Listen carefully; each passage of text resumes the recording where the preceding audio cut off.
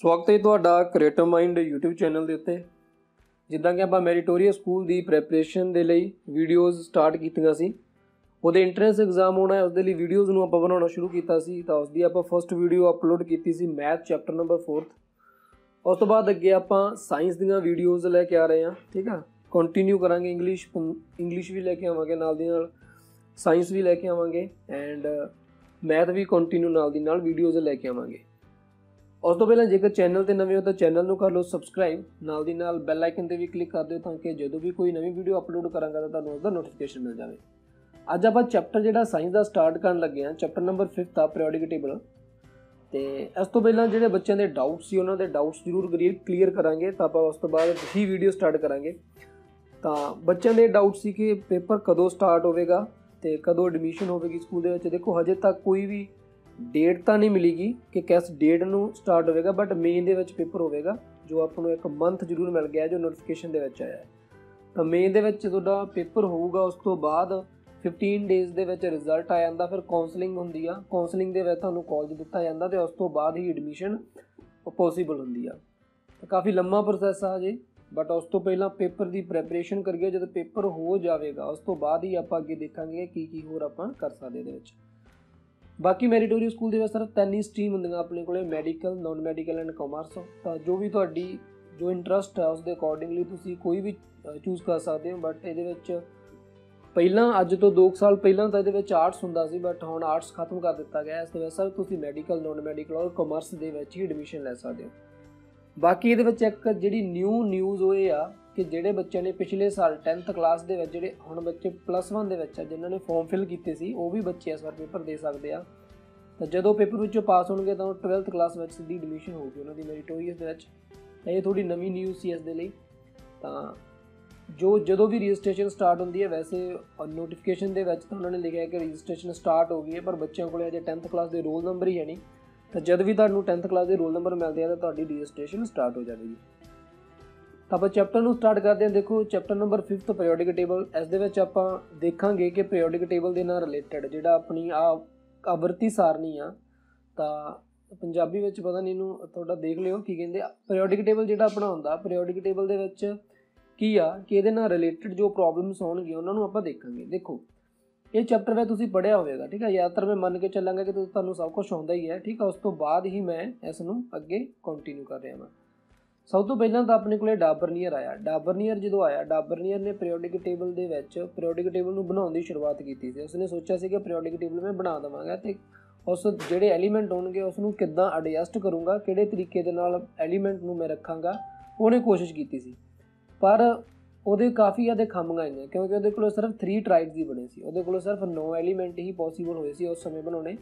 ਤਾਂ ਆਪਾਂ ਨੂੰ ਪਤਾ ਕਿ ਉਹਦੇ ਵਿੱਚ ਕਾਫੀ ਜ਼ਿਆਦਾ ਖਾਮੀਆਂ ਸੀਗੀਆਂ। ਉਸ ਤੋਂ ਬਾਅਦ ਜਦੋਂ ਟ੍ਰਾਈਡਸ ਇਹਦੇ ਨਹੀਂ 3 ਟ੍ਰਾਈਡ ਹੀ ਬਣੇ 9 ਐਲੀਮੈਂਟ ਹੀ ਇਹਦੇ ਕੋਲੋਂ ਪੋਸੀਬਲ ਹੋਏ, ਤਾਂ ਇਸ ਤੋਂ ਬਾਅਦ ਜਿਹੜਾ ਨਵਾਂ ਸਾਇੰਟਿਸਟ ਆਇਆ, ਉਹਦਾ ਨਾਮ ਸੀ ਨਿਊਲੈਂਡ ਨਿਊਲੈਂਡ ਜਿਹੜਾ ਸੀਗਾ, ਉਹਨੂੰ ਆਪਾਂ ਆਕਟਿਵਸ ਵੀ ਕਹਿੰਦੇ ਆ ਠੀਕ ਆ, ਅਸ਼ਟਕ ਕਹਿ ਦਿੰਦੇ ਪੰਜਾਬੀ ਵਿੱਚ ਉਹਨੂੰ, ਅਸ਼ਟਕ। ਉਹਦੇ ਸਿਧਾਂਤ ਨੂੰ ਅਸ਼ਟਕ ਵੀ ਕਿਹਾ ਜਾਂਦਾ। ਰੀਜ਼ਨ ਕੀ ਸੀ ਕਿ ਜਿਹੜਾ ਉਹਨੇ ਦਿੱਤਾ ਸੀ ਆਪਦਾ ਸਿਧਾਂਤ, ਉਹਦੇ ਵਿੱਚ ਉਹਨੇ ਇਹ ਕਿਹਾ ਸੀ ਕਿ ਜਿਹੜੇ ਐਲੀਮੈਂਟ ਹੋਣਗੇ, ਉਹਨਾਂ ਨੂੰ ਅਗਰ ਆਪਾਂ ਉਹਨਾਂ ਨੂੰ ਇਨਕਰੀਜ਼ਿੰਗ ਆਰਡਰ ਵਿੱਚ ਲਿਖੀਏ ਉਹਨਾਂ ਦੇ ਐਟੋਮਿਕ ਮਾਸ ਦੇ ਇਨਕਰੀਜ਼ਿੰਗ ਆਰਡਰ 'ਚ ਲਿਖੀਏ ਵਾਧੇ ਕ੍ਰਮ 'ਚ ਲਿਖੀਏ ਤਾਂ ਕੀ ਹੋਊਗਾ ਕਿ 8ਵਾਂ ਐਲੀਮੈਂਟ ਜਿਹੜਾ ਹੋਊਗਾ, ਉਹ ਪਹਿਲੇ ਐਲੀਮੈਂਟ ਦੀਆਂ 8ਵੇਂ ਐਲੀਮੈਂਟ ਦੀਆਂ ਜਿਹੜੀਆਂ ਵਿਸ਼ੇਸ਼ਤਾਵਾਂ ਹੋਣਗੀਆਂ ਪ੍ਰੋਪਰਟੀਆਂ ਹੋਣਗੀਆਂ, ਉਹ ਸੇਮ ਹੋਣਗੀਆਂ। ਉਸ ਤੋਂ ਬਾਅਦ ਮੈਂਡਲੀਵ ਆਇਆ। ਮੈਂਡਲੀਵ ਨੇ ਵੀ ਆ ਕਾਫੀ ਆਪਦੀ ਜੋ ਥਿਊਰੀ ਦਿੱਤੀ, ਠੀਕ ਆ? ਥਿਊਰੀ ਦੇ ਵਿੱਚ ਮੈਂਡਲੀਵ ਨੇ ਕੀ ਕੀਤਾ? ਆਕਸਾਈਡ ਐਂਡ ਹਾਈਡਰਾਈਡ ਠੀਕ ਆ? ਬਣਾਏ ਐਲੀਮੈਂਟ ਲਏ, ਉਸ ਤੋਂ ਬਾਅਦ ਉਹਨਾਂ ਦੀਆਂ ਪ੍ਰੋਪਰਟੀਆਂ ਨੂੰ ਕੰਪੇਅਰ ਕੀਤਾ ਐਂਡ ਇੱਕ ਪੀਰੀਓਡਿਕ ਟੇਬਲ ਬਣਾਇਆ। ਜਿਹਨੂੰ ਕਾਫੀ ਹੱਦ ਤੱਕ ਸਹੀ ਵੀ ਮੰਨਿਆ ਜਾਂਦਾ ਸੀ। ਬਟ ਉਹਦੇ ਵਿੱਚ ਵੀ ਖਾਮੀਆਂ ਸੀ ਤਾਂ ਉਸ ਤੋਂ ਬਾਅਦ ਆਪਣਾ ਮਾਡਰਨ ਪੀਰੀਓਡਿਕ ਟੇਬਲ ਆਇਆ ਜੋ ਤੁਹਾਡੇ ਸਾਹਮਣੇ ਆ। ਪਹਿਲੀ ਚੀਜ਼ ਤਾਂ ਇਹ ਹੈ ਕਿ ਮੈਂ ਵੀਡੀਓ ਇੰਗਲਿਸ਼ ਵਿੱਚ ਹੀ ਲੈ ਕੇ ਆਵਾਂਗਾ, ਮੈਂ ਟਰਾਂਸਲੇਟ ਜ਼ਰੂਰ ਪੰਜਾਬੀ ਦੇ ਵਿੱਚ ਕਰਾਂਗਾ, ਨਾਲ ਦੀ ਨਾਲ ਤੁਹਾਨੂੰ ਸਮਝਾਵਾਂਗਾ ਵੀ ਪੰਜਾਬੀ ਵਿੱਚ ਇਸ ਨੂੰ ਇਹ ਚੀਜ਼ ਕਹਿੰਦੇ ਆ, ਠੀਕ ਆ? ਕਿਉਂਕਿ ਪੰਜਾਬੀ ਦੇ ਵਿੱਚ ਇਸ ਨੂੰ ਟਰਾਂਸਲੇਟ ਕਰਨ ਵਿੱਚ ਟਾਈਮ ਕਾਫੀ ਜ਼ਿਆਦਾ ਲੱਗ ਜਾਂਦਾ। ਪੀਰੀਓਡਿਕ ਟੇਬਲ ਜਿਹੜਾ ਪੜਾਵਾ ਪੀਰੀਓਡਿਕ ਟੇਬਲ ਦੇ ਵਿੱਚ ਪਹਿਲੇ 20 ਐਲੀਮੈਂਟ ਤੁਹਾਨੂੰ ਯਾਦ ਹੋਣੇ ਚਾਹੀਦੇ ਆ, ਠੀਕ ਆ? ਸਭ ਤੋਂ ਪਹਿਲਾਂ ਮੈਂ ਪੀਰੀਓਡਿਕ ਟੇਬਲ ਦੀ ਇੰਟਰੋਡਕਸ਼ਨ ਦਵਾਂਗਾ, ਫਿਰ ਹੀ ਐਮਸੀਕਿਊ ਸਟਾਰਟ ਕਰਾਂਗਾ। ਪੀਰੀਓਡਿਕ ਟੇਬਲ ਦੇ ਪਹਿਲੇ 20 ਐਲੀਮੈਂਟ ਤੁਹਾਨੂੰ ਯਾਦ ਹੋਣੇ ਚਾਹੀਦੇ, ਜਿਵੇਂ ਮਰਜ਼ੀ ਯਾਦ ਕਰੋ, ਕਿਉਂਕਿ ਅੱਗੇ ਤੁਸੀਂ ਜੇ ਮੈਡੀਕਲ ਨਾਨ ਮੈਡੀਕਲ ਚ ਜਾਓਗੇ ਤਾਂ ਫਿਰ ਵੀ ਤੁਹਾਨੂੰ ਬਾਅਦ ਵਿੱਚ ਵੀ ਯਾਦ ਕਰਨੇ ਪੈਣੀ ਹੈ ਬਟ ਕੋਸ਼ਿਸ਼ ਕਰੋ ਕਿ ਤੁਸੀਂ 10th ਕਲਾਸ ਵਿੱਚ ਵੀ ਤੁਹਾਡੇ 20 ਐਲੀਮੈਂਟ ਪਹਿਲਾਂ ਮੰਨੇ ਜਾਂਦੇ ਆ ਕਿ ਯਾਦ ਕਰਨੇ ਚਾਹੀਦੇ ਆ ਤੁਹਾਨੂੰ, ਠੀਕ ਆ? ਉਹਦੇ ਵਿੱਚ ਆਪਣੇ ਕੋਲੇ hydrogen helium lithium beryllium boron carbon nitrogen oxygen fluorine neon sodium magnesium aluminium silicon phosphorus sulphur chlorine and argon ਤੇ ਆਪਣੇ ਕੋਲੇ ਅਹ, 18 ਐਲੀਮੈਂਟ ਉਸ ਤੋਂ ਬਾਅਦ ਪੋਟਾਸ਼ੀਅਮ ਐਂਡ ਕੈਲਸ਼ੀਅਮ 20 ਐਲੀਮੈਂਟ ਤੁਹਾਨੂੰ ਪੀਰੀਓਡਿਕ ਟੇਬਲ ਦੇ ਯਾਦ ਹੋਣੇ ਚਾਹੀਦੇ ਆ। ਕੁਝ ਕੁ ਚੀਜ਼ਾਂ ਜਿਹੜੀਆਂ ਪੀਰੀਓਡਿਕ ਟੇਬਲ ਵਿੱਚ ਤੁਹਾਨੂੰ ਯਾਦ ਰੱਖਣੀਆਂ ਪੈਣਗੀਆਂ ਉਹ ਇਹ ਆ ਕਿ ਦੇਖੋ ਆਪਣੇ ਕੋਲ ਟੋਟਲ ਗਰੁੱਪ ਕਿੰਨੇ ਆ। ਜੇ ਆਪਾਂ ਗਰੁੱਪ ਕਾਊਂਟ ਕਰੀਏ ਤਾਂ ਗਰੁੱਪ 1 2 ਐਂਡ ਲਾਸਟ ਗਰੁੱਪ ਹੈਗਾ ਆਪਣੇ ਕੋਲ 80 ਤਾਂ ਜ਼ਰੂਰ ਯਾਦ ਰੱਖਿਓ ਜਿਹੜੇ ਗਰੁੱਪ ਹੁੰਦੇ ਆ ਪੀਰੀਓਡਿਕ ਟੇਬਲ ਦੇ ਵਿੱਚ ਉਹ ਟੋਟਲ 18 ਗਰੁੱਪ ਹੁੰਦੇ ਆ। ਐਂਡ ਜੇ ਆਪਾਂ ਪੀਰੀਅਡਸ ਦੀ ਗੱਲ ਕਰੀਏ ਤਾਂ ਟੋਟਲ ਜੇ ਆਪਾਂ ਪੀਰੀਅਡਸ ਦੇਖੀਏ 1 2 3 4 5 6 ਐਂਡ 7 ਟੋਟਲ ਆਪਣੇ ਕੋਲੇ ਜੇ ਪੀਰੀਅਡਸ ਦੀ ਗੱਲ ਕਰੀਏ ਤਾਂ ਟੋਟਲ 7 ਪੀਰੀਅਡਸ ਹੁੰਦੇ ਆ, ਠੀਕ ਆ?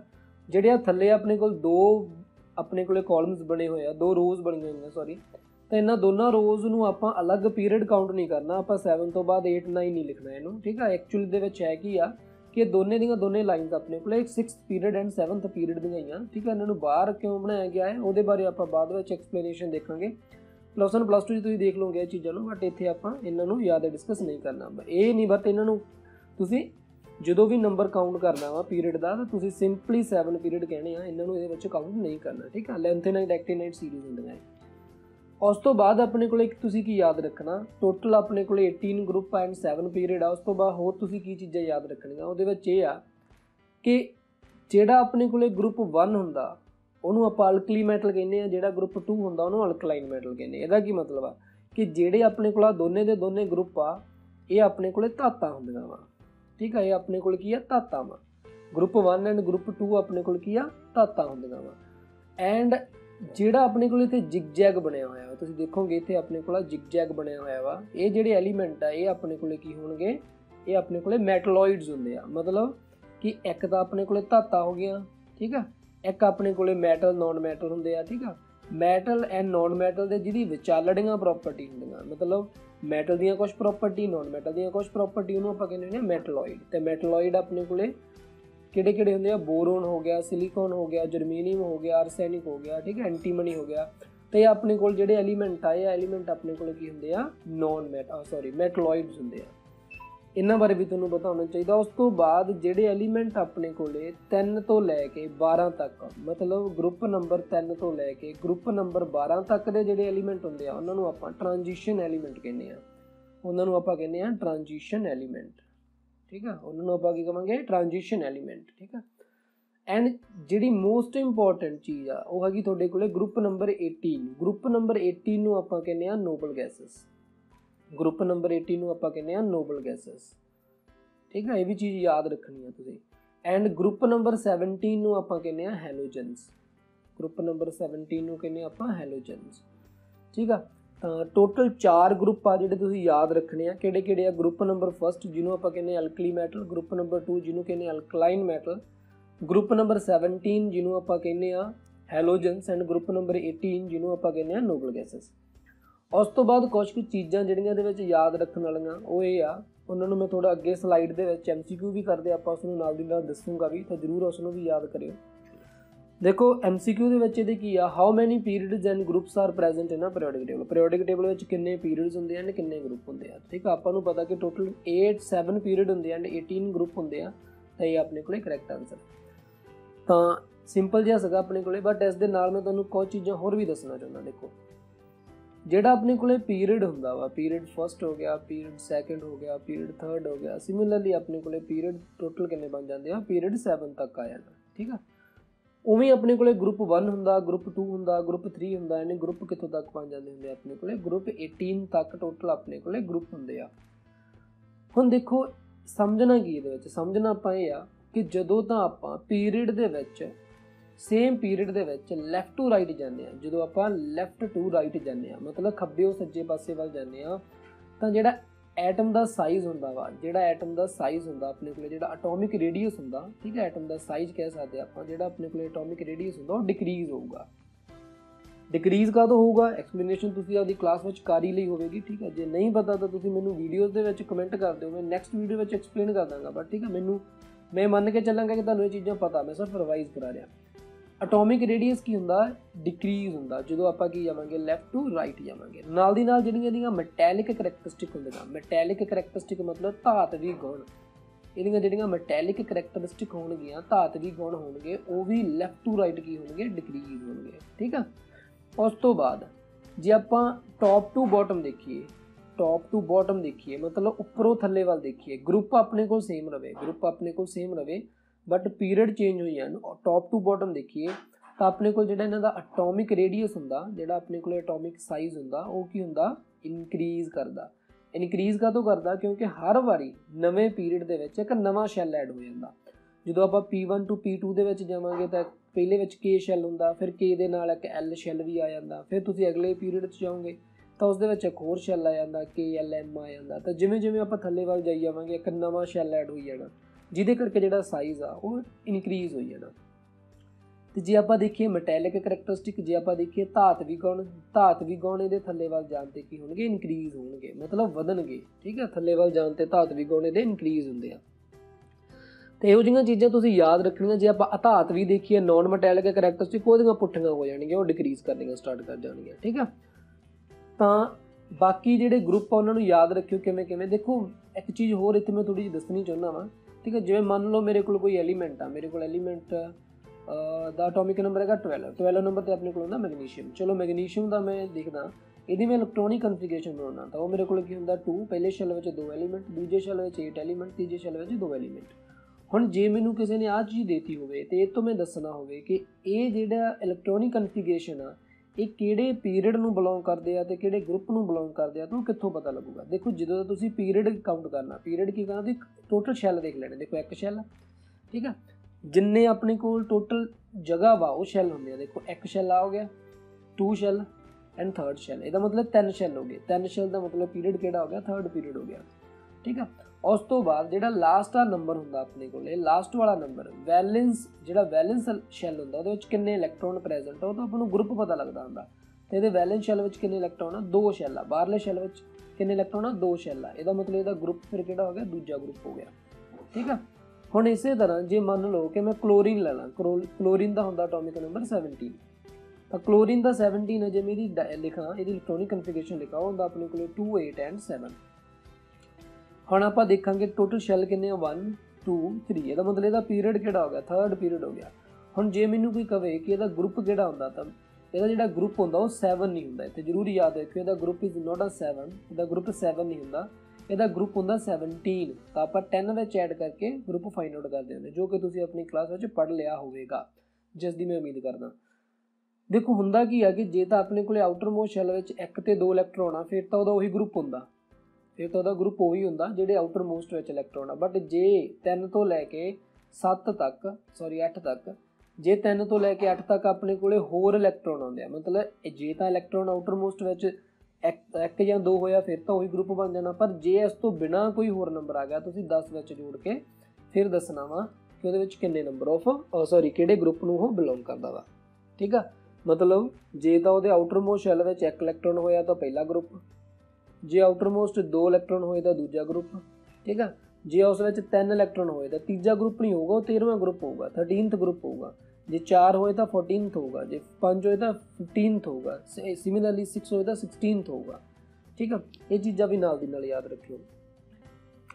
ਉਸ ਤੋਂ ਬਾਅਦ ਨੈਕਸਟ ਦੇਖਦੇ ਆ which of the following form the basis of the modern periodic table ਦੇਖੋ ਉਹ ਕਹਿੰਦੇ ਵੀ ਜਿਹੜਾ ਨਵਾਂ ਆਧੁਨਿਕ ਆਵਰਤੀ ਸਾਰਣੀ ਬਣੀ ਆ, ਜਿਹੜਾ ਮਾਡਰਨ ਪੀਰੀਓਡਿਕ ਟੇਬਲ ਬਣਿਆ ਵਾ, ਉਹ ਕਿਹਦੇ ਆਧਾਰ ਤੇ ਬਣਿਆ ਵਾ? ਉਹਦਾ ਆਧਾਰ ਕੀ ਚੀਜ਼ ਆ? ਮਾਡਰਨ ਪੀਰੀਓਡਿਕ ਟੇਬਲ ਦਾ ਆਧਾਰ ਕੀ ਆ?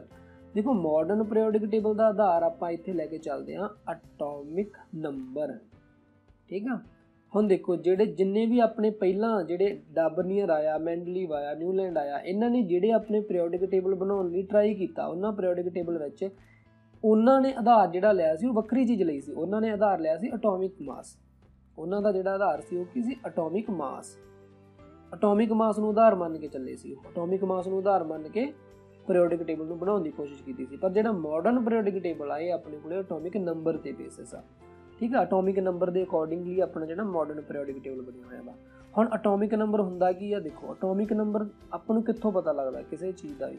ਦੇਖੋ ਮੇਨ ਚੀਜ਼ ਕੀ ਆ ਕਿ ਪੂਰੀ ਦੀ ਪੂਰੀ ਇਨਫੋਰਮੇਸ਼ਨ ਤੁਸੀਂ ਆਪਣੇ ਤੁਹਾਨੂੰ ਹੋਣੀ ਚਾਹੀਦੀ ਹੈ ਜ਼ਰੂਰੀ ਨਹੀਂ ਕਿ ਤੁਹਾਨੂੰ ਐਮਸੀਕਿਊ ਆਉਂਦੇ ਬਟ ਪੂਰੀ ਇਨਫੋਰਮੇਸ਼ਨ ਹੋਊਗੀ ਤਾਂ ਕਿਸੇ ਵੀ ਟਾਈਪ ਦਾ ਕੋਈ ਵੀ ਤੁਹਾਨੂੰ ਐਮਸੀਕਿਊ ਆਇਆ ਨਾ ਤੁਸੀਂ ਸੋਲਵ ਕਰਨ ਦੇ ਕਾਬਲੀ ਕਾਬਲੀਅਤ ਰੱਖੋਗੇ ਉਹਨੂੰ। ਐਟੋਮਿਕ ਨੰਬਰ ਦਾ ਮਤਲਬ ਹੁੰਦਾ number of protons number of protons ਦੇਖੋ, ਕਿਸੇ ਵੀ ਐਟਮ ਦੇ ਵਿੱਚ ਕਿੰਨੇ ਨੰਬਰ ਆਫ ਪ੍ਰੋਟੋਨਸ ਆ, ਉਹਦਾ ਮਤਲਬ ਹੁੰਦਾ ਕਿ ਉਹੀ ਉਹਦਾ ਐਟੋਮਿਕ ਐਟੋਮਿਕ ਨੰਬਰ ਆ ਸੌਰੀ ਉਹੀ ਉਹਦਾ ਕੀ ਆ?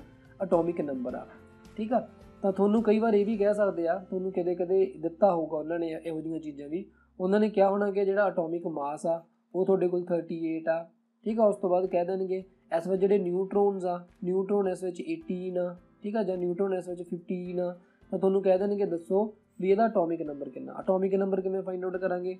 ਆਪਾਂ ਨੂੰ ਪਤਾ ਕਿ ਜੇ ਐਟੋਮਿਕ ਜਿਹੜਾ ਆਪਣੇ ਸੌਰੀ ਐਟੋਮਿਕ ਮਾਸ ਹੋਊਗਾ 38 ਜੇ ਆਪਣੇ ਕੋਲੇ ਐਟੋਮਿਕ ਮਾਸ ਉਹਨਾਂ ਨੇ ਗਿਵਨ ਦੇਤਾ ਐਟੋਮਿਕ ਮਾਸ ਦਾ ਮਤਲਬ ਹੁੰਦਾ ਵਾ number of neutron plus number of protons ਠੀਕ ਆ? ਵੀ ਇਹ ਤਾਂ ਆਪਾਂ 9th ਕਲਾਸ ਚ ਪੜ੍ਹ ਕੇ ਆਏ ਹਾਂ number of neutron plus number of proton ਆਪਣੇ ਕੋਲ ਕਿੰਨਾ ਐਟੋਮਿਕ ਮਾਸ ਤੇ ਜੇ ਉਹਨਾਂ ਨੇ ਨਿਊਟਰੋਨ ਆਪਾਂ ਨੂੰ ਦੇਤੇ, ਤਾਂ ਆਪਾਂ ਨਿਊਟਰੋਨ ਉਹਦੇ ਵਿੱਚੋਂ ਮਾਈਨਸ ਕਰ ਦਾਂਗੇ, ਤਾਂ ਆਪਣੇ ਕੋਲ ਇਕੱਲੇ ਬਚ ਜਾਣਗੇ ਪ੍ਰੋਟੋਨ ਤੇ ਪ੍ਰੋਟੋਨ ਦਾ ਜਿੰਨਾ ਵੀ ਨੰਬਰ ਹੋਊਗਾ, ਉਹੀ ਤਾਂ ਆਪਣੇ ਕੋਲ ਕੀ ਹੁੰਦਾ ਐਟੋਮਿਕ ਨੰਬਰ ਠੀਕ ਆ? ਐਟੋਮਿਕ ਨੰਬਰ ਆਪਣੇ ਕੋਲ ਕੀ ਹੁੰਦਾ ਨੰਬਰ ਆਫ ਪ੍ਰੋਟੋਨਸ ਤਾਂ ਕਈ ਵਾਰ ਇਦਾਂ ਵੀ ਘੁਮਾ ਕੇ ਸ- ਪਾ ਦਿੰਦੇ ਆ ਐਮਸੀਕਿਊ ਐਮਸੀਕਿਊ ਦੇ ਵਿੱਚ ਉਹਨਾਂ ਨੇ ਤੁਹਾਨੂੰ ਐਟੋਮਿਕ ਮਾਸ ਦੇ ਦੇਣਾ ਠੀਕ ਆ? ਪੁੰਜ ਸੌਰੀ ਐਟੋਮਿਕ ਮਾਸ ਮਤਲਬ ਪੁੰਜ ਦੇ ਦੇਣਾ, ਠੀਕ ਆ? ਇਹਦਾ ਪੁੰਜ ਬਣ ਜਾਣਾ।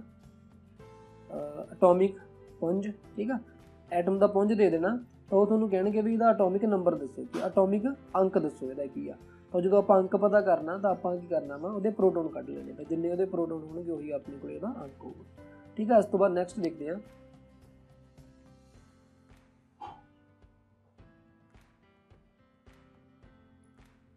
What happened to a electropositive character of a element on moving left to right on a periodic table ਤਾਂ ਦੇਖੋ ਥੋੜਾ ਤੁਹਾਨੂੰ ਬੇਸਿਕ ਤਾਂ ਕਲੀਅਰ ਹੋਣਾ ਚਾਹੀਦਾ। ਕਹਿੰਦੇ ਕੀ ਆ ਇਹਦੇ ਲਈ ਜੇ ਆਪਾਂ ਲੈਫਟ ਟੂ ਰਾਈਟ ਜਾਈਏ ਜੇ ਆਪਾਂ ਲੈਫਟ ਟੂ ਰਾਈਟ ਜਾਈਏ ਤਾਂ ਐਲੀਮੈਂਟ ਦੀ ਇਲੈਕਟ੍ਰੋਪੋਜ਼ਿਟਿਵ ਕਰੈਕਟਰਿਸਟਿਕ ਕਿਵੇਂ ਵੈਰੀ ਕਰਦੀ ਆ? ਇਲੈਕਟ੍ਰੋਪੋਜ਼ਿਟਿਵ ਮਤਲਬ ਅਹ, ਧਨਾਤਮਕ ਚਾਰਜ ਜਿਹੜਾ ਉਹਨਾਂ ਤੇ ਜਿਹੜਾ ਧਨਾਤਮਕ ਚਾਰਜ ਆਉਂਦਾ ਇਲੈਕਟ੍ਰੋਪੋਜ਼ਿਟਿਵ ਜਿਹੜਾ ਧਨਾਤਮਕ ਚਾਰਜ ਆਉਂਦਾ, ਉਹ ਕਿਵੇਂ ਵੇਰੀ ਕਰਦਾ ਵਾ? ਜੇ ਆਪਾਂ ਲੈਫਟ ਟੂ ਰਾਈਟ ਜਾਈਏ ਲੈਫਟ ਟੂ ਰਾਈਟ ਜਾਣ ਤੇ ਧਨਾਤਮਕ ਚਾਰਜ ਕਿਵੇਂ ਵੇਰੀ ਕਰਦਾ? ਕਹਿਣ ਦਾ ਮਤਲਬ ਕੀ ਹੈ? ਦੇਖੋ ਧਿਆਨ ਨਾਲ। ਦੇਖੋ ਆਪਣੇ ਕੋਲ ਜੇ ਆਪਾਂ ਲੈਫਟ ਟੂ ਰਾਈਟ ਜਾਈਏ ਤਾਂ ਉਹਨਾਂ ਤੇ ਪਲੱਸ ਚਾਰਜ ਆਉਣ ਦੀ ਸੰਭਾਵਨਾ ਕਿੰਨੀ ਕਾ ਮਤਲਬ ਪਲੱਸ ਚਾਰਜ ਕਿੰਨਾ ਕਾ ਆ ਸਕਦਾ ਵਾ? ਜੇ ਆਪਾਂ ਲੈਫਟ ਟੂ ਰਾਈਟ ਜਾਈਏ, ਵੀ ਖੱਬੇ ਪਾਸੇ ਵਾਲਿਆਂ ਤੇ ਪਲੱਸ ਚਾਰਜ ਜ਼ਿਆਦਾ ਆਉਣ ਦੀ ਸੰਭਾਵਨਾ ਵਾ ਕਿ ਸੱਜੇ ਪਾਸੇ ਵਾਲਿਆਂ ਤੇ ਪਲੱਸ ਚਾਰਜ ਆਉਣ ਦੀ ਜ਼ਿਆਦਾ ਸੰਭਾਵਨਾ ਵਾ? ਤਾਂ ਤੁਹਾਡੇ ਅਕੋਰਡਿੰਗ ਕਹਿੰਦੇ ਕੀ ਹੋਊਗਾ? ਆਪਾਂ ਇਹ ਦੱਸਣਾ ਵਾ ਲੈਫਟ ਟੂ ਰਾਈਟ ਜਾਂਦੇ। ਹੁਣ ਇੱਕ ਚੀਜ਼ ਯਾਦ ਰੱਖੋ, ਮੈਂ ਇਹ ਕਿਹਾ ਸੀ ਕਿ ਜਦੋਂ ਆਪਾਂ ਲੈਫਟ ਟੂ ਰਾਈਟ ਜਾਂਦੇ ਆ ਤਾਂ ਜਿਹੜਾ ਐਟਮ ਹੁੰਦਾ ਵਾ, ਉਹਦਾ ਆਪਣੇ ਕੋਲ ਜਿਹੜਾ ਸਾਈਜ਼ ਹੁੰਦਾ ਵਾ, ਉਹ ਕੀ ਜਾਂ- ਉਹ ਕੀ ਹੁੰਦਾ ਵਾ? ਡਿਕਰੀਜ਼ ਹੁੰਦਾ। ਚਲੋ ਮੈਂ ਮੰਨ ਕੇ ਚੱਲਦਾ, ਮੇਰੇ ਕੋਲੇ ਨਿਊਕਲੀਅਸ ਆ ਐਂਡ ਨਿਊਕਲੀਅਸ ਦੇ ਵਿੱਚ ਮੇਰੇ ਕੋਲੇ ਦੋ ਸ਼ੈਲ ਆ। ਸਿਮਿਲਰਲੀ ਮੇਰੇ ਕੋਲੇ ਨੈਕਸਟ ਜਿਹੜਾ ਐਲੀਮੈਂਟ ਹੋਊਗਾ, ਉਹਦੇ ਵਿੱਚ ਦੋ ਸ਼ੈਲ ਹੋਣਗੇ। ਸਿਮਿਲਰਲੀ ਮੇਰੇ ਕੋਲੇ ਨੈਕਸਟ ਜਿਹੜਾ ਹੋਊਗਾ ਐਲੀਮੈਂਟ ਉਹਦੇ ਵਿੱਚ ਵੀ ਅੱਗੇ ਦੋ ਸ਼ੈਲ ਹੋਣਗੇ। ਠੀਕ ਆ ਸਿਮਿਲਰਲੀ ਮੈਂ ਡਾਇਗਰਾਮ ਬਣਾਉਣਾ ਐਂਡ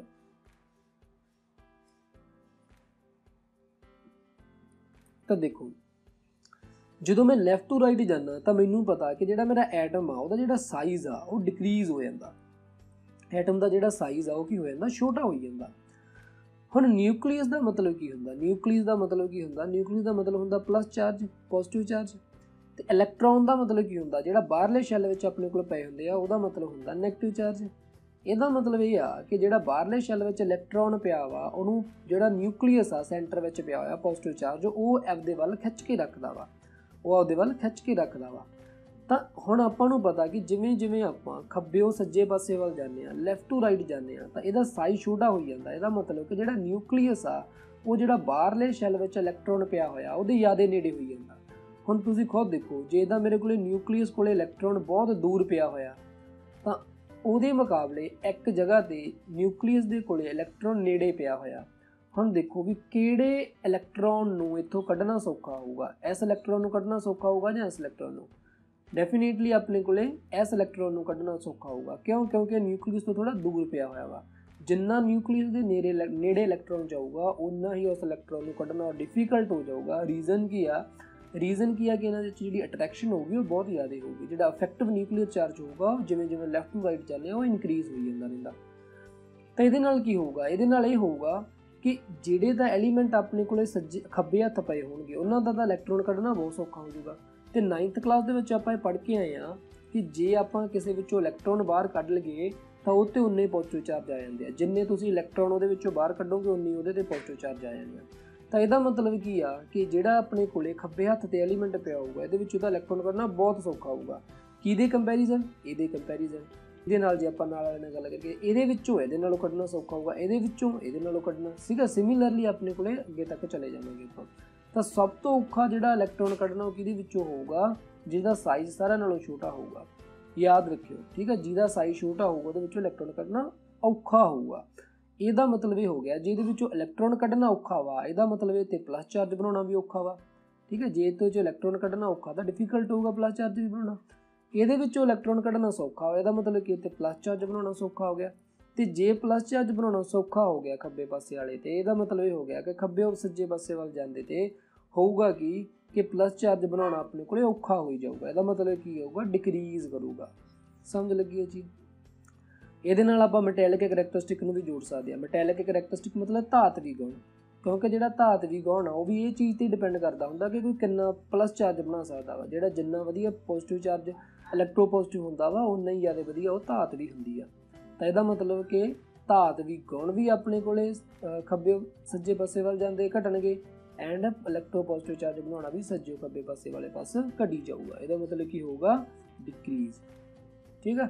ਇਹਦਾ ਮਤਲਬ ਕੀ ਕਰੂਗਾ? ਡਿਕਰੀਜ਼ ਐਂਡ ਇਹਦੇ ਵਿੱਚ ਇੱਕ ਚੀਜ਼ ਹੋਰ ਯਾਦ ਰੱਖਿਓ, ਇਹਦੇ ਵਿੱਚ ਆਪਾਂ ਨੋਬਲ ਗੈਸਸ ਦੀ ਗੱਲ ਨਹੀਂ ਕਰਦੇਗੇ ਇਹਦੇ ਵਿੱਚ ਆਪਾਂ ਨੋਬਲ ਗੈਸਸ ਦੀ ਗੱਲ ਨਹੀਂ ਕਰਦੇਗੇ ਨੋਬਲ ਗੈਸਸ ਵਿੱਚ ਜੇ ਤੁਸੀਂ ਇੱਕਦਮ ਜਾਓਗੇ, ਦੇਖੋ ਸਾਈਜ਼ ਡਿਕਰੀਜ਼ ਹੋਈ ਹੈ ਨਾ ਡਿਕਰੀਜ਼ ਹੋਈ ਹੈ ਨੋਬਲ ਗੈਸਸ ਵਿੱਚ ਜਾ ਕੇ ਇੱਕਦਮ ਸਾਈਜ਼ ਫਿਰ ਇਨਕਰੀਜ਼ ਹੋ ਜਾਣਾ। ਠੀਕ ਹੈ ਜਿਹੜਾ ਸਾਈਜ਼ ਡਿਕਰੀਜ਼ ਹੋ ਰਿਹਾ ਸੀ ਨਾ ਪਹਿਲਾਂ ਨੋਬਲ ਗੈਸਸ ਜਾ ਕੇ ਉਹ ਇਨਕਰੀਜ਼ ਹੋ ਜਾਂਦਾ ਹੁੰਦਾ, ਕਿਉਂਕਿ ਉਹਦੇ ਵਿੱਚ ਸਟੇਬਿਲਿਟੀ ਹੁੰਦੀ ਹੈ ਉਹ ਸਟੇਬਿਲਿਟੀ ਦੇ ਕਰਕੇ ਹੁੰਦਾ ਵਾ। ਤਾਂ ਉਹ ਇੱਕ ਡਿਫਰੈਂਟ ਚੀਜ਼ ਆ, ਉਹਨੂੰ ਆਪਾਂ ਇੱਥੇ ਡਿਸਕਸ ਨਹੀਂ ਕਰਾਂਗੇ ਬਟ ਨਾਰਮਲੀ ਤੁਸੀਂ ਕੀ ਕਹਿਣਾ ਵਾ ਡਿਕਰੀਜ਼ ਕਰਦਾ ਵਾ। ਠੀਕ ਆ, ਘਟਦਾ ਵਾ। ਤਾਂ ਅੱਗੇ ਦੇਖਦੇ ਹਾਂ the electronic configuration of element M284 in a modern periodic table the element M placed in ਦੇਖੋ ਕਹਿੰਦੇ ਆਪਣੇ ਕੋਲੇ ਐਮ ਜਿਹੜਾ ਵਾ, ਉਹਦੀ ਇਲੈਕਟ੍ਰੋਨਿਕ ਕਨਫੀਗਰੇਸ਼ਨ ਹੈਗੀ ਆਪਣੇ ਕੋਲੇ 2 8 ਤੇ 4 ਕਹਿੰਦੇ ਜਿਹੜਾ M ਐਲੀਮੈਂਟ ਆ, ਉਹ ਦੱਸੋ ਕਿਹੜੇ ਗਰੁੱਪ ਦੇ ਵਿੱਚ ਹੋਊਗਾ? ਕਿਹੜੇ ਗਰੁੱਪ ਦੇ ਵਿੱਚ ਉਹ ਮੈਂ ਤੁਹਾਨੂੰ ਪਹਿਲਾਂ ਦੱਸਿਆ ਸੀ। ਜੇ ਇਹਦਾ ਬਾਹਰਲੇ ਸ਼ੈਲ ਵਿੱਚ ਆਪਣੇ ਕੋਲ ਇਲੈਕਟ੍ਰੋਨ ਹੋਣ 1 ਐਂਡ 2 ਫਿਰ ਤਾਂ ਉਹੀ ਗਰੁੱਪ ਹੋ ਜਾਂਦਾ ਹੁੰਦਾ। ਜੇ ਇਸ ਤੋਂ ਬਿਨਾ ਆ ਜਾਏ ਤੁਸੀਂ 10 ਵਿੱਚ ਜੋੜ ਦੇਣਾ ਹੁੰਦਾ। 10 ਵਿੱਚ ਜੋੜਿਆ ਤਾਂ ਆਪਣੇ ਕੋਲ ਬਣ ਗਿਆ 14 ਤੇ। ਇਹਦਾ ਮਤਲਬ ਕਿਹੜਾ ਗਰੁੱਪ ਹੋਊਗਾ? 14ਵਾਂ ਗਰੁੱਪ ਹੋਊਗਾ। 14ਵੇਂ ਗਰੁੱਪ ਦਾ ਐਲੀਮੈਂਟ ਆ ਇਹ। ਇਸ ਤੋਂ ਬਾਅਦ ਨੈਕਸਟ ਦੇਖਦੇ ਹਾਂ। Which of the following is the correct order of atomic radii of the element oxygen fluorine nitrogen? ਚਲੋ ਦੇਖੋ। ਆਪਣੇ ਕੋਲ ਉਹਨਾਂ ਨੇ ਆਕਸੀਜਨ ਦਿੱਤਾ ਫਲੋਰੀਨ ਦਿੱਤਾ ਐਂਡ ਨਾਈਟ੍ਰੋਜਨ ਦਿੱਤਾ। ਉਹ ਕਹਿੰਦੇ ਵੀ ਦੱਸੋ, ਇਹਨਾਂ ਦੇ ਜਿਹੜੇ ਸਾਈਜ਼ ਹੋਊਗਾ ਐਟੋਮਿਕ ਰੇਡੀਆਈ ਆ, ਠੀਕ ਹੈ, ਇਹਨਾਂ ਦਾ ਜਿਹੜਾ ਸਾਈਜ਼ ਹੋਊਗਾ, ਉਹਨੂੰ ਤੁਸੀਂ ਕਰੈਕਟ ਆਰਡਰ ਦੇ ਵਿੱਚ ਕਿਵੇਂ ਲਿਖੋਗੇ? ਮਤਲਬ ਕਿਹੜਾ ਇਹਨਾਂ ਵਿੱਚੋਂ ਵੱਡਾ ਵਾ, ਕਿਹੜਾ ਛੋਟਾ ਵਾ, ਕਿਹੜਾ ਇਹਨਾਂ ਦੇ ਵਿਚਾਲੇ ਆਊਗਾ? ਤਾਂ ਉਹ ਚੀਜ਼ ਨੂੰ ਆਪਾਂ ਦੇਖੋ ਕਿਵੇਂ ਕਿਵੇਂ ਇਹ ਚੀਜ਼ ਨੂੰ ਨੋਟ ਕਰਾਂਗੇ ਦੇਖੋ, ਜੇ ਆਪਾਂ ਆਕਸੀਜਨ ਦੇਖੀਏ ਆਕਸੀਜਨ ਦੇਖੀਏ ਪਹਿਲਾਂ ਤਾਂ ਇਹ ਚੀਜ਼ ਹੋਣੀ ਚਾਹੀਦੀ ਕਿ ਤੁਹਾਨੂੰ ਸਾਰਿਆਂ ਦੇ ਸਾਰੇ ਨਾਮ ਪਤਾ ਹੋਣੇ ਚਾਹੀਦੇ ਆ। ਐਂਡ 20 ਤੱਕ ਇਹਨਾਂ ਦੇ ਐਟੋਮਿਕ ਨੰਬਰ ਵੀ ਤੁਹਾਨੂੰ ਪਤਾ ਹੋਣੇ ਚਾਹੀਦੇ ਆ, ਫੇਰ ਹੀ ਕਰ ਸਕਦੇ। ਨਹੀਂ ਤਾਂ ਆਪਾਂ ਇਹਨੂੰ, ਇਹ ਚੀਜ਼ ਨੂੰ ਨਹੀਂ ਸੋਲਵ ਕਰ ਸਕਦੇ, ਠੀਕ ਆ? ਤਾਂ ਆਪਾਂ ਜਦ ਪੜਾਂਗੇ ਤੂੰ ਸਿੰਪਲੀ ਯਾਦ ਕਰ, ਜੇ ਆਪਾਂ ਯਾਦ ਕਰਕੇ ਪੜ੍ਹੀਏ ਤਾਂ hydrogen hydrogen, helium, lithium, beryllium, boron, carbon, nitrogen. ਇਹਦਾ ਮਤਲਬ ਨਾਈਟ੍ਰੋਜਨ 7 ਤੇ ਹੁੰਦਾ। ਆਕਸੀਜਨ। ਉਸ ਤੋਂ ਬਾਅਦ ਆਕਸੀਜਨ 8 ਤੇ, ਉਸ ਤੋਂ ਬਾਅਦ ਫਲੋਰੀਨ 9 ਤੇ, ਠੀਕ ਆ? ਜੇ ਤੁਸੀਂ ਐਂ ਵੀ ਯਾਦ ਰੱਖ ਸਕਦੇ ਆ ਤਾਂ ਠੀਕ ਆ, ਨਹੀਂ ਤਾਂ ਕੋਸ਼ਿਸ਼ ਕਰੋ ਕਿਸੇ ਨਾ ਕਿਸੇ ਤਰੀਕੇ ਨਾਲ ਇਹਨੂੰ ਯਾਦ ਜ਼ਰੂਰ ਕਰੋ, ਠੀਕ ਆ? ਇਹਦਾ ਮਤਲਬ ਕੀ ਹੋਗਾ ਕਿ ਨਾਈਟ੍ਰੋਜਨ ਆਪਣੇ ਕੋਲ ਪਹਿਲੇ ਨੰਬਰ ਤੇ ਹੁੰਦਾ, ਜਿਹਦਾ ਐਟੋਮਿਕ ਨੰਬਰ 7 ਹੁੰਦਾ, ਉਸ ਤੋਂ ਬਾਅਦ ਆਪਣੇ ਕੋਲ ਆਕਸੀਜਨ ਹੁੰਦਾ, ਜਿਹਦਾ 8 ਹੁੰਦਾ। ਉਸ ਤੋਂ ਬਾਅਦ ਆਪਣੇ ਕੋਲ ਫਲੋਰੀਨ ਹੁੰਦਾ, ਜਿਹਦਾ ਐਟੋਮਿਕ ਨੰਬਰ 9 ਹੁੰਦਾ। ਤਾਂ ਹੁਣ ਤੁਸੀਂ ਖੁਦ ਦੇਖੋ ਕਿ ਆਪਾਂ ਲੈਫਟ ਟੂ ਰਾਈਟ ਜਾ ਰਹੇ ਹਾਂ। ਤਾਂ ਮੈਂ ਇਹੀ ਚੀਜ਼ ਤਾਂ ਤੁਹਾਨੂੰ ਕਹੀ ਸੀ ਕਿ ਜਦੋਂ ਵੀ ਆਪਾਂ ਲੈਫਟ ਟੂ ਰਾਈਟ ਜਾਵਾਂਗੇ, ਤਾਂ ਉਦੋਂ ਪਿੱਛੇ ਆਪਾਂ ਜਿਹੜਾ ਹੁਣੀ ਕਰਕੇ ਆਏ ਆ ਪਿਛਲੇ ਚ ਆਪਾਂ ਜਿਹੜਾ ਵੜ ਕੇ ਆਏ ਆ ਆਪਾਂ ਕਿ ਜਦੋਂ ਆਪਾਂ ਲੈਫਟ ਟੂ ਰਾਈਟ ਜਾਵਾਂਗੇ, ਤਾਂ ਜਿਹੜਾ ਐਟਮ ਆ, ਉਹਦਾ ਸਾਈਜ਼ ਕੀ ਆ? ਘਟਦਾ ਵਾ। ਉਹਦਾ ਸਾਈਜ਼ ਕੀ ਹੁੰਦਾ ਵਾ? ਡਿਕਰੀਜ਼ ਹੁੰਦਾ ਵਾ। ਇਹਦਾ ਮਤਲਬ ਫਿਰ ਇਹ ਹੋ ਗਿਆ ਕਿ ਜਿਹੜਾ ਨਾਈਟ੍ਰੋਜਨ ਹੋਊਗਾ, ਉਹ ਸਾਰਿਆਂ ਨਾਲੋਂ ਵੱਡਾ ਹੋਊਗਾ ਆਕਸੀਜਨ ਉਹਦੇ ਨਾਲੋਂ ਛੋਟਾ ਹੋਊਗਾ ਫਲੋਰੀਨ ਉਹਦੇ ਨਾਲੋਂ ਛੋਟਾ ਹੋਊਗਾ। ਇਹਦਾ ਮਤਲਬ ਫਿਰ ਇਥੋਂ ਆਪਾਂ ਦੇਖ ਲਾਂਗੇ ਵੀ ਕਿਹੜੇ, ਕਿਹਦੇ ਵਿੱਚ ਆਪਣੇ ਕੋਲ ਨਾਈਟ੍ਰੋਜਨ ਸਾਰਾ ਤੋਂ ਵੱਡਾ ਦਿਖਾਇਆ ਗਿਆ ਵਾ। ਤਾਂ ਜੇ ਆਪਾਂ ਦੇਖੀਏ ਤਾਂ ਨਾਈਟ੍ਰੋਜਨ ਸਾਰਾ ਤੋਂ ਵੱਡਾ ਇੱਥੇ ਦਿਖਾਇਆ ਗਿਆ, ਉਸ ਤੋਂ ਬਾਅਦ ਆਕਸੀਜਨ ਉਸ ਤੋਂ ਬਾਅਦ ਫਲੋਰੀਨ ਇਹ ਚੀਜ਼ 'ਚ ਕਨਫਿਊਜ਼ਨ ਨਾ ਹੋਇਓਗੇ ਆ ਜਿਹੜੇ ਸਾਈਨ ਉਹ ਪੁੱਠੇ ਪਾ ਕੇ ਉਹਨਾਂ ਨੇ ਪੁੱਠਾ ਲਿਖਿਆ ਹੋਇਆ ਵਾ, ਠੀਕ ਆ? ਤਾਂ ਉਹਨਾਂ ਨੇ ਇਹ ਲਿਖਿਆ ਹੋਇਆ ਫਲੋਰੀਨ ਸਾਰਾ ਨਾਲੋਂ ਛੋਟਾ, ਉਸ ਤੋਂ ਬਾਅਦ ਆਕਸੀਜਨ ਉਸ ਤੋਂ ਬਾਅਦ ਨਾਈਟ੍ਰੋਜਨ ਠੀਕ ਆ? ਉਹ ਚੀਜ਼ ਸੇਮ ਹੀ ਆ। ਇਹ ਚੀਜ਼ ਕਨਫਿਊਜ਼ਨ ਆਇਆ ਤਾਂ ਡੀ ਆਪਣੇ ਕੋਲ ਕਰੈਕਟ ਆਨਸਰ ਆਊਗਾ। ਚੀਜ਼ ਯਾਦ ਰੱਖਿਓ ਕਿ ਜਿਵੇਂ ਆਪਾਂ ਲੈਫਟ ਟੂ ਰਾਈਟ ਜਾਂਦੇ ਆ ਲੈਫਟ ਟੂ ਰਾਈਟ ਜਾਂਦੇ ਖੱਬੇ ਸੱਜੇ ਪਾਸੇ ਵੱਲ ਜਾਂਦੇ ਜਿਹੜਾ ਐਟਮ ਦਾ ਸਾਈਜ਼ ਆ ਉਹ ਘਟਦਾ ਜਾਂਦਾ। ਉਸ ਤੋਂ ਬਾਅਦ ਉਹਨੇ ਕਿਹਾ what is the other name of a group 18 element ਜਿਹੜੇ ਗਰੁੱਪ 18 ਐਲੀਮੈਂਟ ਆ ਗਰੁੱਪ 18 ਐਲੀਮੈਂਟ ਦਾ ਹੋਰ ਨਾਮ ਕੀ ਆ? ਗਰੁੱਪ 18 ਐਲੀਮੈਂਟ ਮੈਂ ਪਹਿਲੇ ਦੱਸ ਕੇ ਆਇਆ ਸੀ ਮੋਸਟ ਇੰਪੋਰਟੈਂਟ ਆ। 18 ਗਰੁੱਪ ਦੇ ਕੋਈ ਨੂੰ ਨੋਟਬੁੱਕ ਤੇ ਨੋਟ ਜ਼ਰੂਰ ਕਰਦੇ ਜਾਇਆ ਕਰੋ ਨਾਲ ਦੀ ਨਾਲ। ਜਿਹੜੀ ਚੀਜ਼ ਤੁਹਾਡੇ ਵਾਸਤੇ ਨਵੀਂ ਹੁੰਦੀ ਗਰੁੱਪ 18 ਜਿਹੜੇ ਹੁੰਦਾ, ਉਹਨੂੰ ਆਪਾਂ ਨੋਬਲ ਗੈਸ ਕਹਿੰਦੇ ਆ। ਗਰੁੱਪ 17 ਆ ਜਿਹੜਾ, ਉਹਨੂੰ ਆਪਾਂ ਹੈਲੋਜਨਸ ਕਹਿੰਦੇ ਆ। ਹੈਲੋਜਨਸ ਕਹਿੰਦੇ ਆ। ਐਂਡ ਹੋਰ ਚੀਜ਼ ਯਾਦ ਰੱਖਿਓ ਗਰੁੱਪ 18 ਜਿਹੜਾ 17 ਆ, ਉਹ ਹੈਲੋਜਨ ਤਾਂ ਹੈ ਹੀ। ਉਹਨਾਂ ਵਿੱਚ ਜਿਹੜਾ ਸਭ ਤੋਂ ਉੱਪਰਲਾ ਐਲੀਮੈਂਟ ਫਲੋਰੀਨ ਹੁੰਦਾ, ਉਹ ਮੋਸਟ ਇਲੈਕਟ੍ਰੋਨੈਗੇਟਿਵ ਆ, ਇਹ ਵੀ ਪੁੱਛ ਸਕਦੇ ਆ ਮੋਸਟ ਇਲੈਕਟ੍ਰੋਨੈਗੇਟਿਵ ਮਤਲਬ ਕਹਿਣਗੇ ਸਾਰਿਆਂ ਨਾਲੋਂ ਵੱਧ ਇਲੈਕਟ੍ਰੋਨੈਗੇਟਿਵ ਜਿਹੜਾ ਵੱਧਦਾ ਉਹ ਫਲੋਰੀਨ ਆ। ਹੁਣ ਨੋਬਲ ਗੈਸਸ ਨੂੰ ਆਪਾਂ ਹੋਰ ਨਾਂ ਨਾਲ ਵੀ ਜਾਣਦੇ ਆ noble gases are also called inert gases ਫਿਰ ਆਪਾਂ ਕਹਾਂਗੇ ਬਈ why inert gases inert gases ਕਾਹਤੋਂ ਕਹਿੰਦੇ ਆ? ਦੇਖੋ ਇਨਰਟ ਗੈਸਸ ਇਹਨਾਂ ਨੂੰ ਤਾਂ ਕਹਿੰਦੇ ਆ, ਕਿਉਂਕਿ ਜਿਹੜੀਆਂ ਨੋਬਲ ਗੈਸਸ ਹੁੰਦੀਆਂ, ਇਹ ਕਿਸੇ ਦੇ ਨਾਲ ਵੀ ਰਿਐਕਟ ਨਹੀਂ ਕਰਦੀਆਂ। ਇਹ ਕਿਸੇ ਦੇ ਨਾਲ ਵੀ ਕੋਈ ਕਿਰਿਆ ਨਹੀਂ ਕਰਦੀਆਂ। ਨੋਬਲ ਗੈਸਸ ਨੂੰ ਜੇਕਰ ਤੁਸੀਂ ਕਿਤੇ ਕਿਸੇ ਗੈਸ, ਜਿਹੜੀ ਨੋਬਲ ਗੈਸਸ ਹੁੰਦੀਆਂ, ਜੇਕਰ ਤੁਸੀਂ ਇਹਨੂੰ ਕਿਸੇ ਕੈਮੀਕਲ ਜਾਂ ਗੈਸ ਦੇ ਨਾਲ ਰਿਐਕਟ ਕਰਾਉਣ ਲਈ ਟਰਾਈ ਕਰੋਗੇ, ਤਾਂ ਰਿਐਕਟ ਨਹੀਂ ਕਰਦੀਆਂ ਠੀਕ ਹੈ ਜਿਹੜੇ, ਜੇ ਆਪਾਂ ਥੱਲੇ ਵੱਲ ਚੱਲ ਗਏ ਨੋਬਲ ਗੈਸਸ ਵਿੱਚ ਵੀ ਥੱਲੇ ਵੱਲ ਚੱਲ ਗਏ, ਤਾਂ ਜਿਹੜੀ ਇਹਨਾਂ ਦੀ ਰਿਐਕਟੀਵਿਟੀ ਉਹ ਇਨਕਰੀਜ਼ ਹੁੰਦੀ ਆ। ਬਟ ਜੇ ਆਪਾਂ ਉੱਪਰ ਵਾਲੇ ਐਲੀਮੈਂਟ ਦੇਖੀਏ, ਉੱਪਰ ਵਾਲੇ ਨੋਬਲ ਗੈਸਸ ਦੇਖੀਏ, ਤਾਂ ਉਹਨਾਂ ਦੀ ਜਿਹੜੀ ਰਿਐਕਟੀਵਿਟੀ ਆ, ਉਹ ਬਿਲਕੁਲ ਅਨਰਟ ਹੁੰਦੀਆਂ ਕਾਫੀ ਜ਼ਿਆਦੇ ਉਹ ਰਿਐਕਟ ਨਹੀਂ ਕਰਦੀਆਂ ਕਿਸੇ ਦੇ ਨਾਲ, ਠੀਕ? ਤਾਂ ਇਹ ਵੀ ਚੀਜ਼ ਯਾਦ ਰੱਖਿਓ। ਤਾਂ ਗਰੁੱਪ 18 ਦੇ ਜਿਹੜੇ ਆਪਣੇ ਕੋਲੇ ਗੈਸਸ ਹੋਣਗੀਆਂ, ਉਹਨੂੰ ਕੀ ਕਹਿੰਦੇ ਆਪਾਂ? ਨੋਬਲ ਗੈਸਸ ਕਹਿੰਦੇ ਨਾਲ ਦੀ ਨਾਲ ਇੱਕ ਚੀਜ਼ ਹੋਰ ਯਾਦ ਰੱਖਿਓ। ਵਰਡ ਯਾਦ ਰੱਖੋ ਗੈਸਸ ਇਹਦਾ ਮਤਲਬ ਕੀ ਹੈ ਕਿ ਸਾਰੇ ਦੇ ਸਾਰੀਆਂ ਜਿਹੜੀਆਂ ਇਹ ਆਪਣੇ ਕੋਲੇ ਐਲੀਮੈਂਟ ਹੈ, ਸਾਰੇ ਦੇ ਸਾਰੇ ਗੈਸਿਸ ਫਾਰਮ ਦੇ ਵਿੱਚ ਆ, ਠੀਕ? ਤਾਂ ਹੀ ਆਪਾਂ ਇਹਨੂੰ ਨੋਬਲ ਗੈਸਸ ਕਹਿੰਦੇ ਆ। ਠੀਕ ਆ? ਸੋਲਿਡ ਜਾਂ ਲਿਕੁਇਡ ਫਾਰਮ ਦੇ ਵਿੱਚ ਨਹੀਂ ਆਪਾਂ ਨੂੰ ਮਿਲਦੀ। Gases these are gases and ਇੱਕ ਚੀਜ਼ ਹੋਰ ਯਾਦ ਰੱਖਿਓ, ਜਿਹੜੀਆਂ ਇਹ ਗੈਸਸ ਹੁੰਦੀਆਂ ਵਾ ਇਨਰਟ ਹੋਣ ਦੇ ਬਾਵਜੂਦ ਇਨਰਟ ਹੋਣ ਦੇ ਨਾਲ ਨਾਲ ਇਹ ਆਪਣੇ ਕੋਲੇ ਸਿੰਗਲੀ ਕੱਲੀਆਂ ਕੱਲੀਆਂ ਕਰ, ਕੱਲੀਆਂ ਕੱਲੀਆਂ ਐਗਜ਼ਿਸਟ ਕਰਦੀਆਂ ਜਿਵੇਂ ਆਪਾਂ ਹਾਈਡਰੋਜਨ ਕਹਿੰਦੇ ਆ, ਆਪਣੇ ਕੋਲੇ ਡਾਇਆਟੋਮਿਕ H2 ਦੀ ਤਰ੍ਹਾਂ ਹੁੰਦਾ ਆਕਸੀਜਨ ਆਪਣੇ ਕੋਲੇ O2 ਹੁੰਦਾ ਕਲੋਰੀਨ ਆਪਣੇ ਕੋਲੇ Cl2 ਹੁੰਦਾ। ਇਹ ਆਈ ਹੋਣਗੀਆਂ ਤੁਹਾਡੇ ਕੋਲੇ, ਹੀਲੀਅਮ, ਠੀਕ ਆ, ਆਰਗਨ ਆਰਗਨ ਦੀ ਆਰਗਨ ਹੀ ਕੱਲੀ ਕ੍ਰਿਪਟਾਨ ਕੱਲੀ ਕੱਲੀ ਠੀਕ ਆ, ਨਿਓਨ ਕੱਲੀ ਕੱਲੀ ਮਤਲਬ ਇਹ ਗੈਸਸ ਦੇ ਨਾਲ ਕੱਲੀਆਂ ਕੱਲੀਆਂ ਹੋਣਗੀਆਂ, ਨਾ ਡਾਇਆਟੋਮਿਕ ਟ੍ਰਾਇਆਟੋਮਿਕ ਕੁਝ ਨਹੀਂ ਇਹਨਾਂ ਨੇ ਬਣਾਉਣਾ, ਠੀਕ ਆ, ਕਿਉਂਕਿ ਇਹ ਸਟੇਬਲ ਆ ਇਲੈਕਟ੍ਰੋਨਿਕ ਕਨਫੀਗਰੇਸ਼ਨ ਸਟੇਬਲ ਆ। ਰੈਕਟ ਕਾ ਨਹੀਂ ਕਰਦੀਆਂ? ਰੈਕਟ ਤਾਂ ਨਹੀਂ ਕਰਦੀਆਂ, ਕਿਉਂਕਿ ਇਹਨਾਂ ਦੇ ਆਊਟਰ ਮੋਸਟ ਸ਼ੈਲ ਦੇ ਵਿੱਚ ਜਿਹੜੇ ਜਿਹੜੇ ਆਊਟਰ ਮੋਸਟ ਸ਼ੈਲ ਹੁੰਦਾ, ਇਹਨਾਂ ਦਾ ਆਕਟੇਟ ਕੰਪਲੀਟ ਹੁੰਦਾ। ਮਤਲਬ ਕਿਸੇ ਵੀ ਐਟਮ ਦੇ ਆਊਟਰ ਮੋਸਟ ਸ਼ੈਲ ਦੇ ਵਿੱਚ ਜੇਕਰ 8 ਇਲੈਕਟ੍ਰੋਨ ਆ, ਜੇਕਰ ਇਹਦੇ ਆਊਟਰ ਮੋਸਟ ਸ਼ੈਲ ਦੇ ਵਿੱਚ 8 ਇਲੈਕਟ੍ਰੋਨ ਆ ਉਹ ਕਿਸੇ ਨਾਲ ਕਿਰਿਆ ਨਹੀਂ ਕਰਦਾ ਹੁੰਦਾ। ਤਾਂ ਇਹਨਾਂ ਸਾਰਿਆਂ ਦੇ 8 8 ਹੁੰਦੇ ਆ। ਇਕੱਲੇ ਆਪਣੇ ਛੱਡ ਕੇ ਹੀਲੀਅਮ ਨੂੰ। ਹੀਲੀਅਮ ਨੂੰ ਛੱਡ ਕੇ ਕਾਹਤੋਂ? ਕਿਉਂਕਿ ਹੀਲੀਅਮ ਦੇ ਵਿੱਚ ਸ਼ੈਲ ਹੀ ਇੱਕ ਹੁੰਦਾ। ਜੇ ਇੱਕ ਹੀ ਸ਼ੈਲ ਹੁੰਦਾ ਤਾਂ ਪਹਿਲੇ ਸ਼ੈਲ ਵਿੱਚ ਤਾਂ ਇਲੈਕਟ੍ਰੋਨ ਹੀ ਦੋ ਹੁੰਦੇ ਹੁੰਦੇ ਆ। ਠੀਕ ਆ? ਤਾਂ ਕਰਕੇ ਹੀਲੀਅਮ ਦੇ ਵਿੱਚ ਦੋ ਸ਼ੈਲ, ਦੋ ਇਲੈਕਟ੍ਰੋਨ ਹੁੰਦੇ, ਬਾਕੀ ਸਾਰਿਆਂ ਦੇ ਬਾਹਰਲੇ ਸ਼ੈਲ ਵਿੱਚ 8-8 ਇਲੈਕਟ੍ਰੋਨ ਹੁੰਦੇ ਆ। ਤੇ ਜਿਹਦੇ ਵੀ ਬਾਹਰਲੇ ਸ਼ੈਲ ਵਿੱਚ 8 ਇਲੈਕਟ੍ਰੋਨ ਹੋ ਜਾਣ, ਉਹ ਕਦੇ ਵੀ ਕਿਰਿਆ ਨਹੀਂ ਕਰਦਾ। ਉਹ ਕਿਸੇ ਦੇ ਨਾਲ ਵੀ ਕਿਰਿਆ ਨਹੀਂ ਕਰਦਾ। ਠੀਕ ਆ? ਤਾਂ ਇਹ ਵੀ ਚੀਜ਼ ਯਾਦ ਰੱਖਿਓ ਨਾਲ ਦੀ ਨਾਲ। ਉਸ ਤੋਂ ਬਾਅਦ next which of the following is a more reactive element of group 17 group 17 ਦੇ ਵਿੱਚ ਸਭ ਤੋਂ ਵੱਧ ਰਿਐਕਟੀਵਿਟੀ ਕਿਹਦੀ ਯਾਦ ਆ? ਇਹ ਚੀਜ਼ ਤੁਸੀਂ ਕਿਵੇਂ ਯਾਦ ਰੱਖਣੀ ਹੈ? ਦੇਖੋ, ਮੈਂ ਤੁਹਾਨੂੰ ਦੋ ਚੀਜ਼ਾਂ ਯਾਦ ਕਰਾਉਣਾ ਇੱਥੇ। ਗਰੁੱਪ 1 ਐਂਡ ਗਰੁੱਪ 17 ਇਹ ਦੋਨੇ ਚੀਜ਼ਾਂ ਗਰੁੱਪ 1 ਐਂਡ 2 ਦਾ ਸੇਮ ਹੀ ਰਹੂਗਾ। ਗਰੁੱਪ 1 ਐਂਡ 2 ਸੇਮ ਹੀ ਰਹੂਗਾ। ਐਂਡ ਗਰੁੱਪ 17 ਦੇਖੋ ਗਰੁੱਪ 1 ਐਂਡ 2 ਜਿਵੇਂ ਜਿਵੇਂ ਆਪਾਂ ਥੱਲੇ ਵੱਲ ਜਾਂਦੇ ਆ ਜਿਵੇਂ ਜਿਵੇਂ ਆਪਾਂ ਟੌਪ ਟੂ ਬਾਟਮ ਜਾਂਦੇ ਆ ਤਾਂ ਉਹਦੇ ਨਾਲ ਕੀ ਹੁੰਦਾ ਵਾ? ਕਿ ਇਹਦੀ ਜਿਹੜੀ ਰਿਐਕਟੀਵਿਟੀ ਆ, ਉਹ ਕੀ ਕਰਦੀ ਆ? ਇਨਕਰੀਜ਼ ਕਰਦੀ ਆ। ਟੌਪ ਟੂ ਬਾਟਮ ਜਾਣ ਤੇ ਇਹਦੀ ਰਿਐਕਟਿਵਿਟੀ ਇਨਕਰੀਜ਼ ਕਰਦੀ ਆ। ਕਾਤੋਂ ਕਰਦੀ ਆ? ਠੀਕ ਆ, ਤਾਂ ਕਲਾਸ ਵਿੱਚ ਡਿਸਕਸ ਤੁਸੀਂ ਕੀਤਾ ਹੀ ਹੋਊਗਾ, ਠੀਕ ਆ ਜ਼ਿਆਦਾ ਟਾਈਮ ਲੱਗ ਜਾਂਦਾ ਫਿਰ ਜ਼ਿਆਦਾ ਐਕਸਪਲੇਨ ਕਰਨ ਦੇ। ਤੇ ਗਰੁੱਪ 17 ਆ ਜਿਹੜਾ ਜਿਹੜਾ ਗਰੁੱਪ 17 ਆਪਣੇ ਕੋਲੇ ਹੈਲੋਜਨਸ ਹੁੰਦੇ ਆ, ਇਹਨਾਂ ਦੀ ਜਿਹੜੀ ਰਿਐਕਟਿਵਿਟੀ ਆ, ਇਹਨਾਂ ਦੀ ਜਿਹੜੀ ਕਿਰਿਆ ਕਰਨ ਦੀ, ਮਤਲਬ ਕਿੰਨੀ ਕੁ ਕਿਰਿਆ ਕਰਨਗੇ ਕਿਸੇ ਦੇ ਨਾਲ? ਮਤਲਬ ਜੇ ਤੁਸੀਂ ਇਹਨੂੰ এনवायरमेंट ਵਿੱਚ ਰੱਖ ਦੋਗੇ ਤਾਂ ਕਿਸੇ ਦੇ ਨਾਲ ਕਿੰਨੀ ਕੁ ਕਿਰਿਆ ਕਰ ਸਕਦੇ ਹੈ ਕੈਮੀਕਲ ਨੇ ਕਿੰਨੀ ਕੁ ਕਿਰਿਆ ਕਰ ਸਕਦਾ? ਇਹ ਉਹ ਚੀਜ਼ ਜਿਹੜੀ ਦੀ ਰਿਐਕਟੀਵਿਟੀ ਆ, ਉਹ ਜੇ ਤੁਸੀਂ ਟੌਪ ਟੂ ਬਾਟਮ ਹੋਨੇ ਉਹ ਡਿਕਰੀਜ਼ ਕਰਦੀ ਆ। ਤੇ ਇਹ ਚੀਜ਼ ਮੈਂ ਤੁਹਾਨੂੰ ਹੁਣੇ ਵੀ ਦੱਸ ਕੇ ਆਇਆ ਸੀ, ਮੈਂ ਕਹੀ ਜਿਹੜਾ ਫਲੋਰੀਨ ਹੁੰਦਾ ਵਾ, ਉਹਦੀ ਜਿਹੜੀ ਇਲੈਕਟ੍ਰੋਨੈਗੇਟਿਵਿਟੀ ਆ, ਉਹ ਬਹੁਤ ਜ਼ਿਆਦਾ ਹਾਈ ਹੁੰਦੀ ਆ। ਫਲੋਰੀਨ ਦੀ ਜਿਹੜੀ ਇਲੈਕਟ੍ਰੋਨੈਗੇਟਿਵਿਟੀ ਹੁੰਦੀ ਆ, ਬਹੁਤ ਜ਼ਿਆਦਾ ਹਾਈ ਹੁੰਦੀ ਆ, ਠੀਕ ਹੈ ਇਹ ਚੀਜ਼ ਨਾਲ ਵੀ ਤੁਸੀਂ ਇਹਨੂੰ ਕੰਬਾਈਨ ਕਰਕੇ ਇਹਦੇ ਨਾਲ ਵੀ ਤੁਸੀਂ ਜੋੜ ਕੇ ਇਹਨੂੰ ਯਾਦ ਕਰ ਸਕਦੇ ਹੋ। ਤਾਂ ਉਹਨਾਂ ਨੇ ਹੁਣ ਇਹੀ ਪੁੱਛਿਆ ਹੋਇਆ ਵਾ, ਉਹ ਕਹਿੰਦੇ ਵੀ ਗਰੁੱਪ 17 ਦੇ ਵਿੱਚ ਮੋਸਟ ਰਿਐਕਟਿਵ ਐਲੀਮੈਂਟ ਕਿਹੜਾ ਵਾ? ਤਾਂ ਪਹਿਲਾਂ ਤਾਂ ਇਹ ਚੀਜ਼ ਨੂੰ ਯਾਦ ਕਰਨ ਦੇ ਨਾਲ ਉਹ ਐਲੀਮੀਨੇਟ ਕਰਨਾ ਹੀ ਬਹੁਤ ਸੌਖਾ ਵਾ। ਦੇਖੋ ਮੈਗਨੀਸ਼ੀਅਮ ਆ। ਤਾਂ ਮੈਗਨੀਸ਼ੀਅਮ ਜਿਹੜਾ ਹੁੰਦਾ ਆਪਣੇ ਕੋਲੇ, ਇਹਦਾ ਐਟੋਮਿਕ ਨੰਬਰ ਹੁੰਦਾ 12 ਤਾਂ ਇਹ ਤੁਸੀਂ ਦੱਸੋ ਵੀ ਗਰੁੱਪ 17 ਦਾ ਐਲੀਮੈਂਟ ਆ, ਇਹਦਾ ਗਰੁੱਪ ਸੈਕੰਡ ਦਾ ਐਲੀਮੈਂਟ ਆ।